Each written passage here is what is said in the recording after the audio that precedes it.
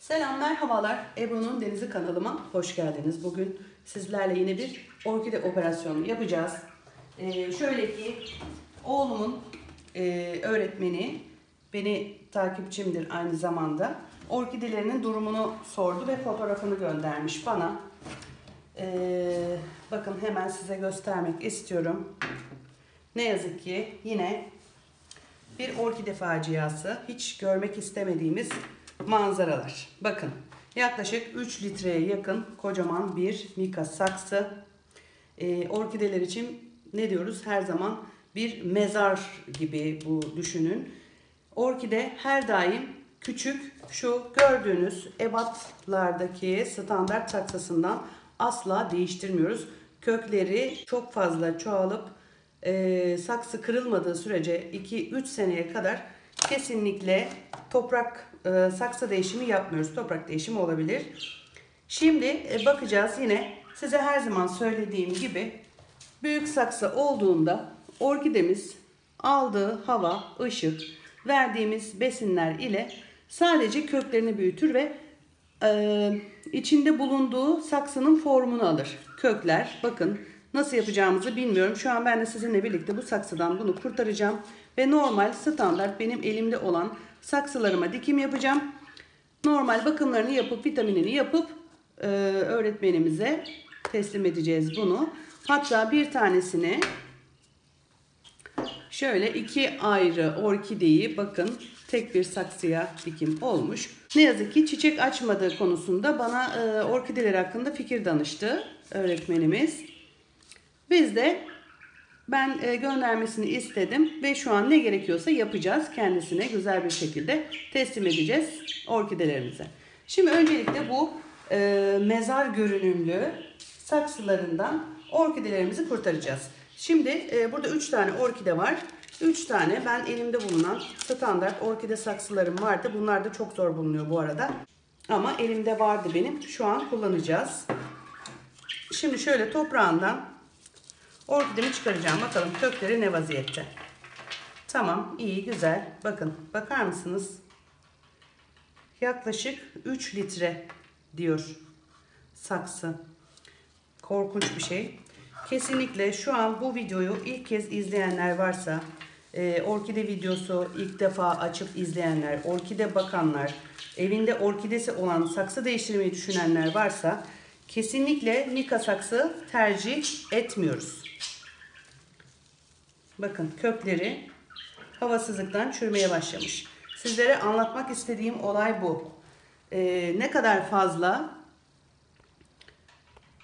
büyük saksıda olursa içerisinde sulama yaptığımızda bir nem oluşuyor ve fazla nemi mika saksıda hava deliği açmadığımız için ne yazık ki saksının içerisinde kalıyor ve kökler çürümüş oluyor. Daha sonra da orkide kayıplarını bu şekilde yaşamış oluyoruz.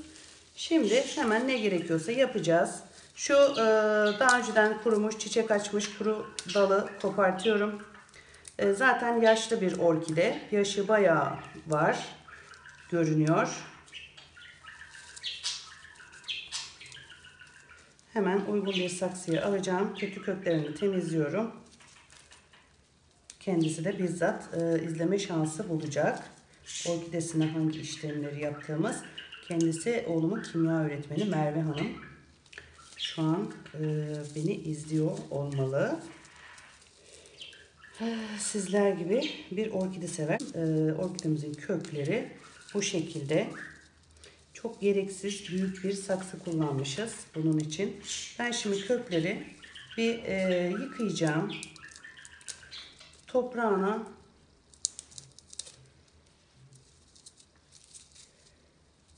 Hatta yıkamama da gerek yok. Ben bu şekilde ıslak kalmasın saksının içerisinde. Hemen bu şekilde e, yerleştirmeye çalışacağım. Bakalım bunu başarabilecek miyiz? Köklere zarar vermeden. Evet orkidemizin durumu bu şekilde. Kötü kökleri temizledik.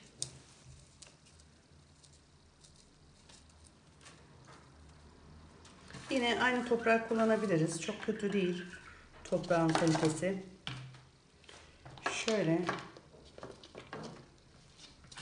kökler çok olduğu için Önce saksıda e, orkideyi yerleştirmek istiyorum.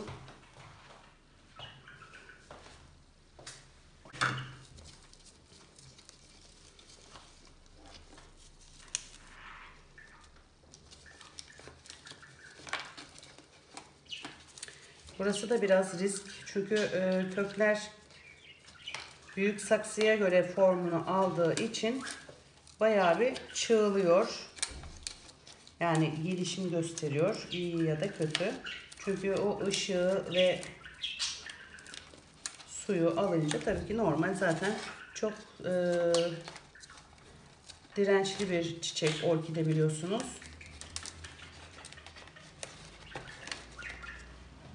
Evet şu an köklerini yerleştirdik başarılı bir şekilde. Yine toprağını saksımızın boşluklarını dolduracak şekilde şöyle dolduruyorum.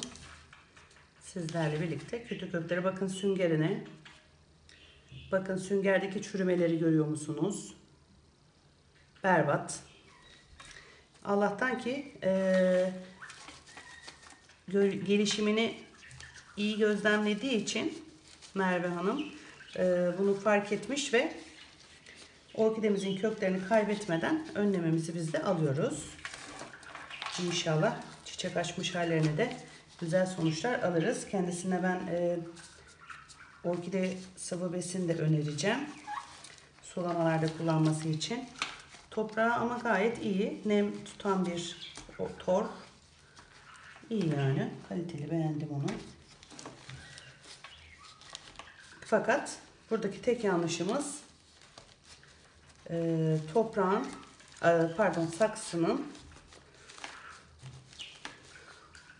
büyüklüğü ne yazık ki.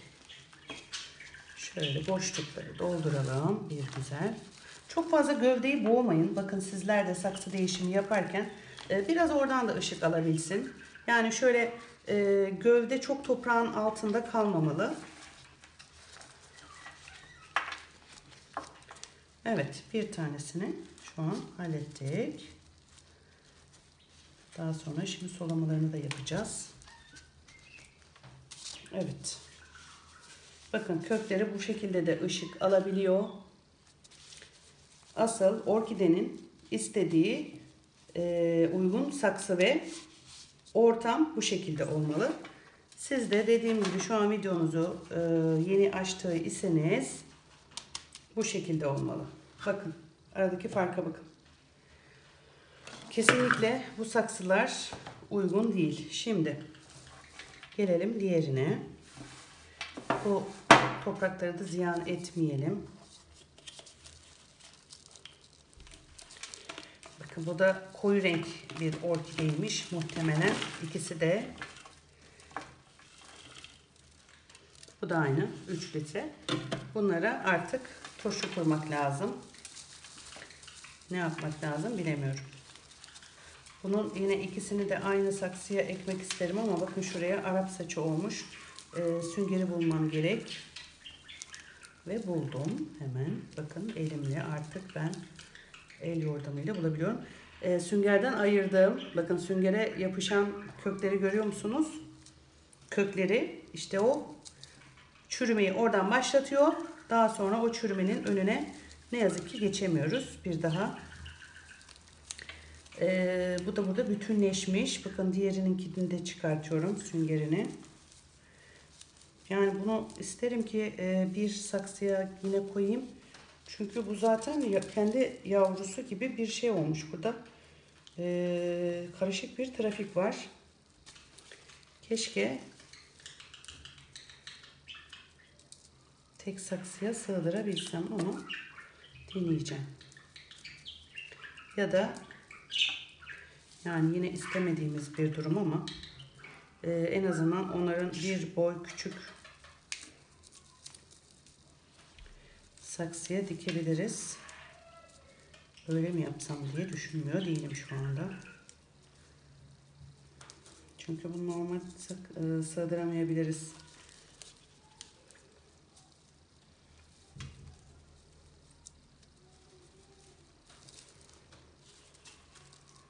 Hmm, bu zaten yavrusu bunun. İki ayrı orkide değilmiş bu. Yavrusuymuş. Hmm. Ayırsak mı acaba?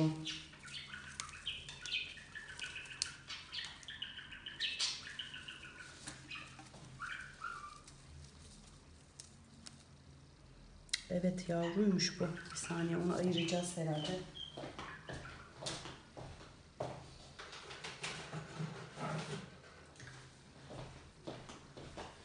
Gövdeden bir tanesi e,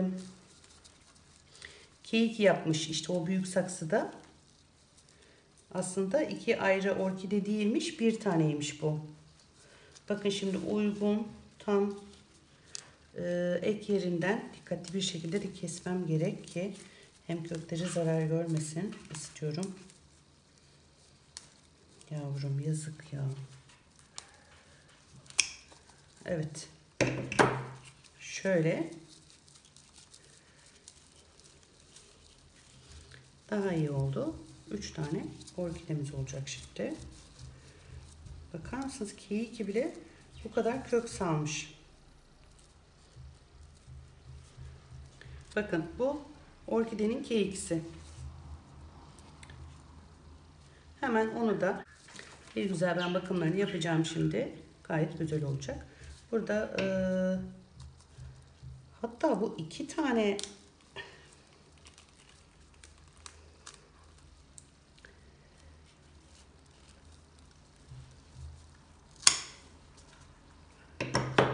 Ay maşallah. İki tane keyiki çıkartmış. Bakın bu da kendi gövdesiymiş. Olsun. Bakacağız şimdi hemen. Bu şekilde yapabiliriz. İkisini de ayrı ayrı koyacağım. Kötü köklerini yine temizliyorum.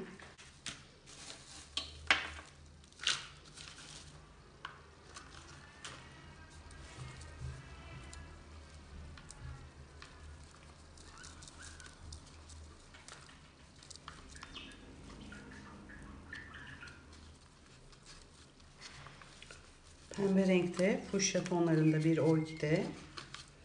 Aynı zamanda onu da anlıyoruz. Nereden anladığımızı da size anlatacağım. Şimdi.